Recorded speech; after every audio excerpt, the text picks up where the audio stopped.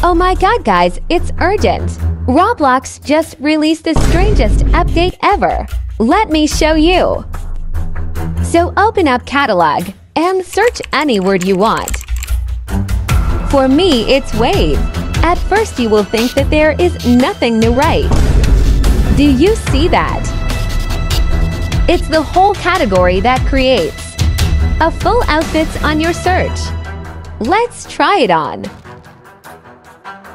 How you see it shows an amount and prices of items we tried on. We can also remove items from the list. Ha ha ha ha, what type of fit is that? Right after this, I started to searching up another words to see what outfits Roblox would create for us. The cat search is 100% right. I wonder if Roblox could create a fit of me. Wait, no way! Law Guys Roblox actually made the whole fit of me. And it's almost true.